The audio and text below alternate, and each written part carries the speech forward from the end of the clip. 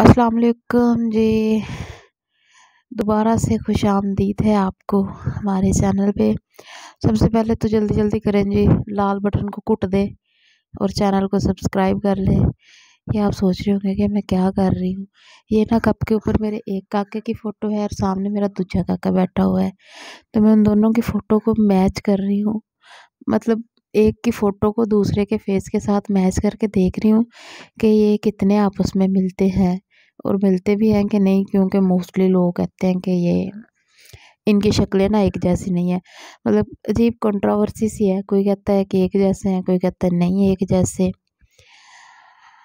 तो ये तो जी देख रहा था कार्टून और ये है एक शाम के टाइम का, कि ये रिकॉर्डिंग थी जब मैं स्कूल से आई थी और आने के बाद मैंने इसके कपड़े शपड़े चेंज किए थे। और इसका ना मुझे लग रहा था कि इसकी तबीयत नहीं ठीक है। इसको पता नहीं क्या मसला है, जब भी इसके सर पे मैं कैप देती हूँ, ये फ़ौरन उतार देता है। दिन में मैं बस टोपी देने पे रहती हूँ, ये उतारने पे रहता है। और ऐसे ये दूसरा है ये बस मोबाइल पकड़ के कंबल में लेट जाता है। इसको कंबल में लेटाने का बस एक ही तरीका है, वरना स्कूटी लेके भागता फिरता रहता है। और फिर मुझे ये इशू होता है कि ये बीमार हो जाएँगे। और जब ये बीमार हो जाते हैं तो मुसीबत हमारे लिए, माओ के लिए फिर रात रात भर कहते हैं कि गोद में लेके बैठे रहो। तो वो स्कूटी बड़ी हुई है इसकी। हम्बल की पहले इसने मुझे इतना तंग किया हुआ था।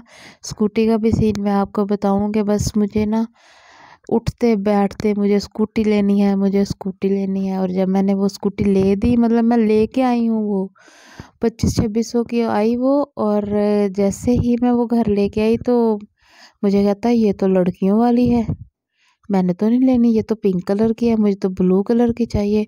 और मैं इसका मुँह देखती रह गई मतलब यार हद है, हमने कभी अपनी ज़िंदगी में स्कूटी नहीं चलाई।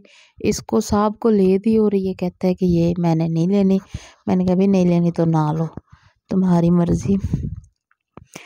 अच्छा और ये मैं क्या कर रही हूँ? हाँ मैं ना पराठा बनाने लगी थी मूलियों वाला, मेरे ना हस्बैंड आए थे तो मुझे समझ नहीं आ रही थी कि उनके लिए क्या बनाऊँ, क्योंकि चिकन भी नहीं था घर में और कोई लाने वाला वाला भी नहीं था। तो मैंने सोचा कि सर्दियों की बस मुझे यही बहुत अच्छी लगती है कि इसमें जितनी भी सब्ज़ियाँ होती हैं ना, उनको आप अगले दिन ना मैश करके तो आराम से आप उनके पराठे बना सकते हो। कोई मेहमान भी आए ना तो आप मूलियों वाला, आलूओं वाला पराठा बना दो तो वो इतना गुस्सा नहीं करते। मतलब सालन का मसला भी हल हो जाता है और आपका रोटी का मसला भी हल हो जाता है। परोना भी खुश तो तुम भी खुश। खैर, ये मैंने ना इनमें जस्ट मूलियों में ना सिर्फ़ नम काली मिल काली मिर्च, नमक और ज़ीरा और थोड़ा सा धनिया काट के डाला था और दो ही पराठे बनाए थे।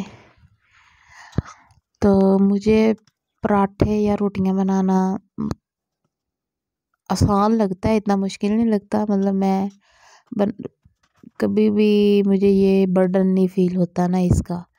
और इसके साथ साथ ना मैं गर्म पानी में नींबू और शहद डाल के पी रही थी। मुझे पता नहीं क्यों आजकल ना यूँ लगता है कि जैसे ये पीने से मैं पतली हो जाऊँगी। वैसे पहले भी मैंने बहुत दफ़ा ट्राई की है, लेकिन आजकल दोबारा से ये मुझे लगने लग गया अल्लाह करे जो मुझे लगता है वो सही हो। किसी दिन मैं पतली हो जाऊँ, जिस दिन मैं पतली होगी ना, उस दिन मैंने देगे पकवानी है।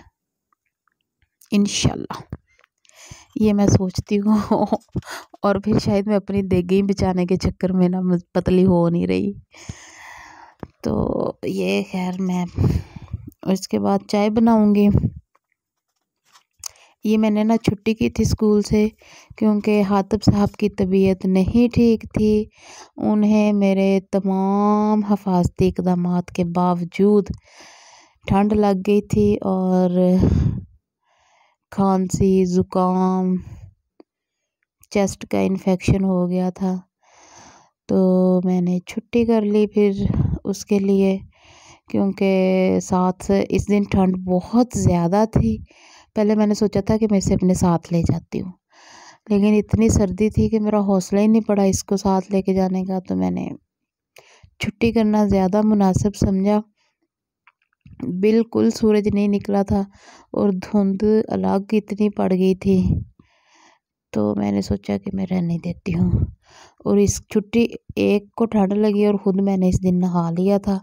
और उसके बाद जो मुझे ठंड लगी, वो तो अल्लाह मेरा जानता है या मैं जानती हूँ। और ये सारा जो खलारा है, ये बाद में आंटी ने आके समेट लिया था। Thanks to aunty. अल्लाह उन्हें जजाई खैर दे। वो हंसती बसती रहे, हमारे घर आती जाती रहे काम करने के लिए। वरना यकीन करें, जिस दिन आंटी नहीं ना आती, उस दिन तो मैं पागल हो जाती हूँ। बच्चे भी घर और किचन देखना। हालाँकि मैं सफ़ाई नहीं करती। सफ़ाई तो मेरे कागज़ों में है ही नहीं ना उस दिन। लेकिन सिर्फ़ किचन देखना खाना शाना बनाना और बर्तन धोना इतना बड़ा काम बन जाता है, बच्चों के साथ समझ नहीं आती है। और फिर हाथब अभी इस, आप कह लें कि ना तो वो चलता है और ना ही वो टिक के बैठता है। बेड पे बिठा के जाओ तो थोड़ी देर बाद ख़तरा होता है कि वो नीचे गिर जाएगा। नीचे बैठा नहीं सकते कि फर्श ठंडे हैं, सर्दी लग जाएगी। तो आप लोग सुनाए, मैं फिर आप लोगों से एक दफ़ा कही जा रही हूँ जल्दी जल्दी करें। मेरा चैनल सब्सक्राइब कर ले। ऐसा ना हो कि आप रह जाएँ, मेरी कोई वीडियो रह जाए आप लोगों के देखने वाली। तो ये हम, मैं रात को हाथब को लेके गई थी। सोचा मैंने था कि इसको डॉक्टर के पास लेके जाऊँगी और घर से डॉक्टर के पास ले जाने के लिए निकली थी। लेकिन रास्ते में ये मेडिसन कंपनी से इसके लिए दवाई ली और नेबलाइज़र लिया और ले आ गए। इसको घर आके दो तीन दफ़ा नेबलाइज किया। इस, इसको सांस नहीं आ रहा, लेकिन इसका ऑब्सेशन देखें कार्टून्स का। तो खैर मतलब इस तरह इसको थोड़ी सी स्टीम वगैरह करने से ना इसकी कुछ हालत बेहतर हो गई थी। और ये उस रात से ही सोया सोया रहा तीन, ढाई तीन बजे तक सोया रहा। फिर एक दफ़ा उठा था, लेकिन फिर मतलब सही रहा। तो बस एक एंटीबायोटिक ली और और जी थैंक यू वीडियो देखने के लिए शुक्रिया।